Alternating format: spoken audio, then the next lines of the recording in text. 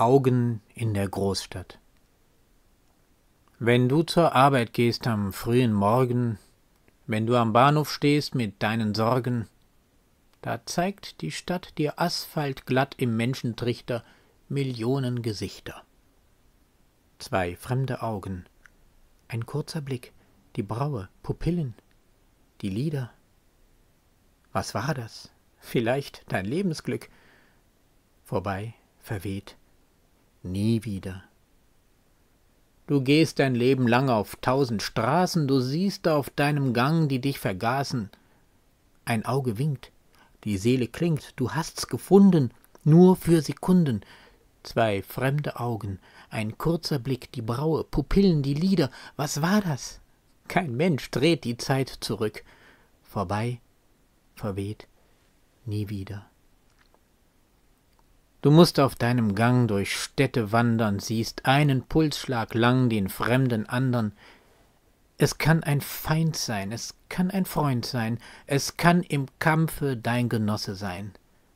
Es sieht hinüber und zieht vorüber.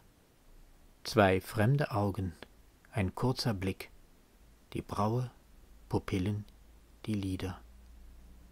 Was war das? Von der großen Menschheit ein Stück.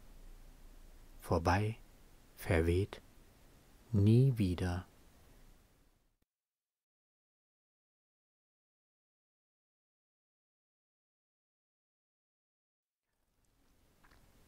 Augen in der Großstadt. Die Augen sind das Einzige, womit man in der Anonymität der Stadt kommuniziert, wenn überhaupt. In japanischen U-Bahnen wird per Hinweisschilder darum gebeten, direkten Blickkontakt zu vermeiden.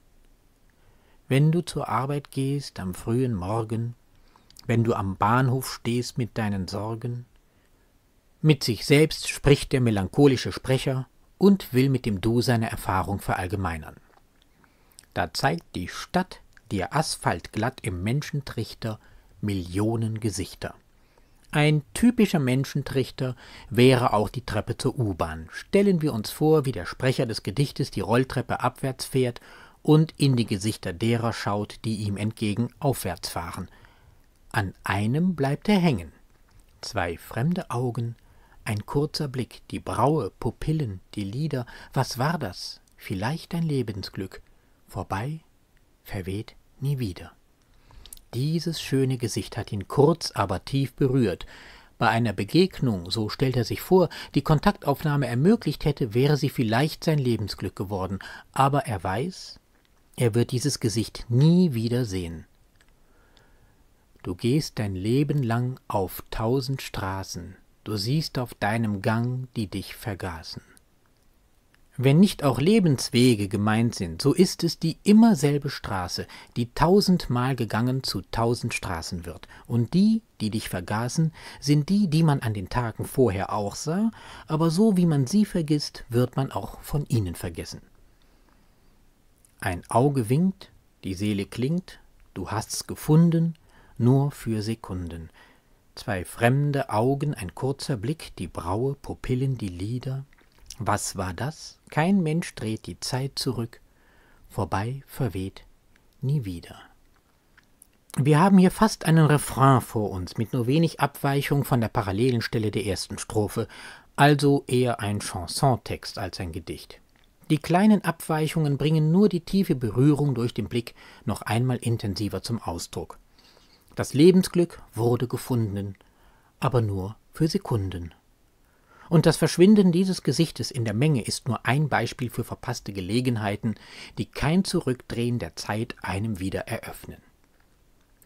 Du musst auf deinem Gang durch Städte wandern, siehst einen Pulsschlag lang den fremden andern.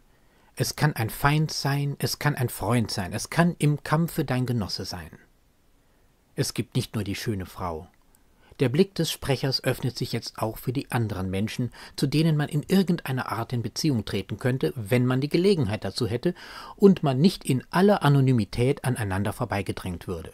Freund, Feind oder der Mitkämpfer für eine gerechtere Gesellschaft.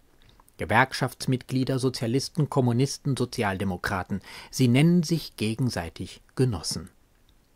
Es sieht hinüber und zieht vorüber.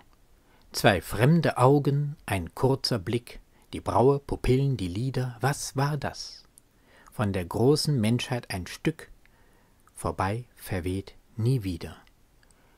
Der Chanson, wie ich den Text jetzt endgültig nennen möchte, endet versöhnlicher, als der melancholische Ton zunächst erwarten ließ. Der Blick der schönen Frau öffnet jetzt sein Herz für die ganze große Menschheit. Wenn es allen am frühen Morgen am Bahnhof mit den Sorgen gleich ergeht, kann man sich auch allen verbunden fühlen. Und damit wird ein Lied von der Einsamkeit in der Anonymität am Ende ein Lied von der Solidarität.